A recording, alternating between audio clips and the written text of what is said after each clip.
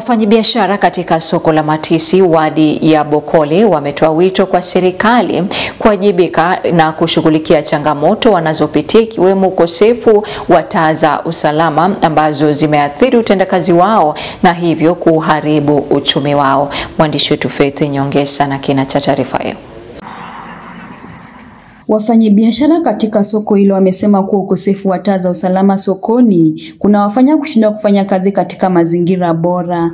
Wanadai kuwa hali hiyo inaongeza hatari kwa usalama wao na wateja, hivyo wanataka wizara husika kuchukua hatua za haraka ili kuhakikisha kuwepo kwa taa za kutosha na kuboresha mazingira ya biashara.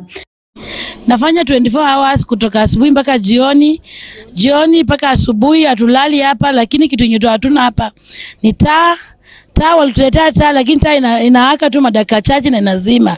Tunaomba mheshimiwa wetu Lusaka atuletee mataa kwa hii soko. Pamoja na hilo, wafanyabiashara na wahudumu wa bodaboda wameonyesha kutokuwa na furaha kutokana na ahadi ya mbunge wa eneo hilo Dan Wanyama ya kuwasaidia vikundi vya biashara na kuweka lami katika barabara ya kutoka Matisi Teremi hadi Chwele. Wamesisitiza kuwa ahadi hiyo inahitaji kutekelezwa ili kurahisisha usafiri na kuimarisha shughuli zao za biashara. Mheshimiwa Dani Wanyama ulituagiza kama ukasema ya kwamba tukuwe na vikundi, tukajaribu, tumekuwa na vikundi, na ukatuagiza mwezi wa kumi uje hapa utu, utufanyie utusaidie, utujazie hiyo hiyo hiyo hiyo hiyo nini yetu utusupport hazo la fundi yetu ya wamama. Wamama tuko vipuni, vikundi tano hapa Matizi, lakini hatujaona ukituletea hapa hiyo pesa yenye utuahidi.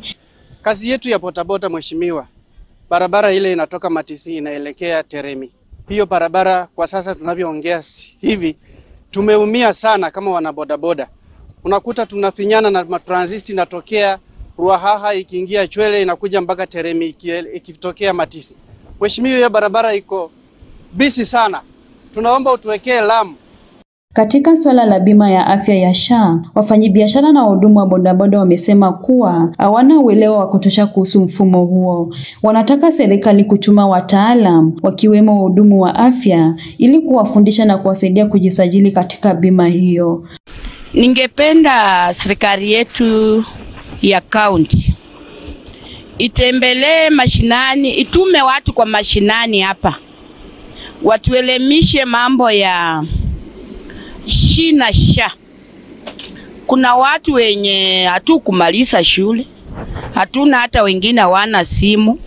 Nikiripotia mtazamo wa Dira Runinga ya Tandao, kaunti ya Bungoma, jina langu ni Faith Nyongesa.